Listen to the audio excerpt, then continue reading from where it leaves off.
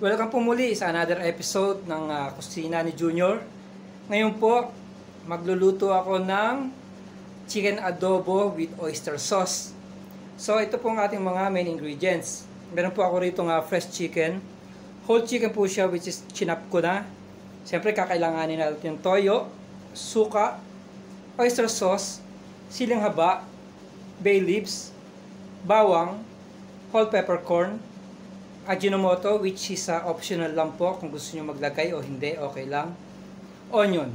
Gagamit din po tayo ng cooking oil at konting tubig. Sana, umpisa na natin ang pagluluto ng uh, chicken adobo with oyster sauce. Sa akin pong wok, naglagay na po ako ng mantika. Siyempre, first step natin, lalagay natin yung garlic.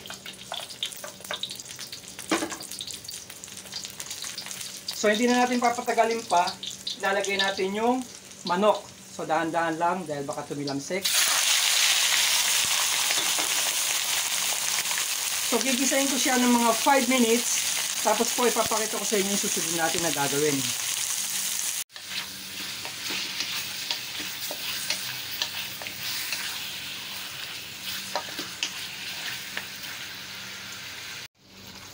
So ayan po, bali nagisa na natin yung ating manok ng mga 5 minutes.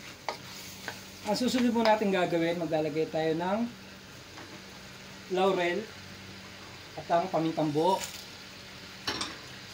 So again, haluin lang natin sandali.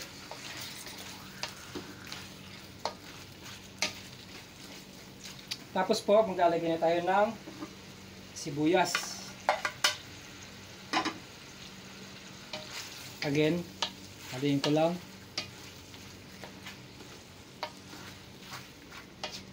Ngayon naman po, ang gagawin natin, maglalagay ako ngayon ng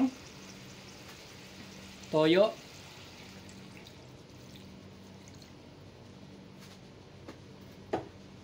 Ang uh, ating pong uh, Ajinomoto or Bechin, which is kagaya ng sinabi ko kanina, optional lang.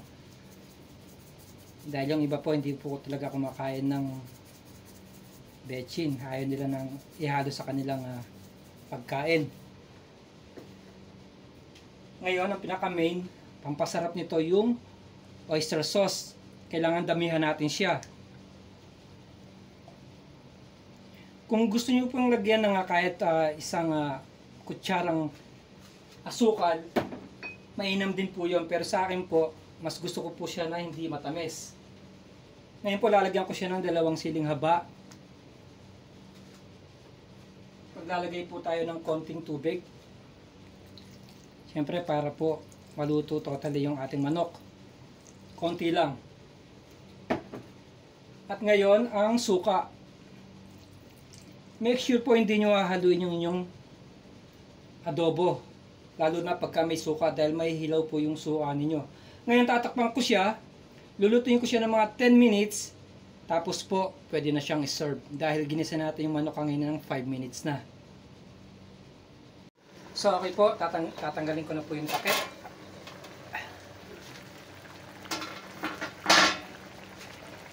Wow, napakasarap po nito. Luto na po yung ating uh, chicken adobo with oyster sauce. Halin ko lang sandali. Tapos mamaya po, ilalagay ko na siya sa isang serving plate. Muli marami pong pasalamat sa panonood ng Kusina ni Junior. Maraming salamat po.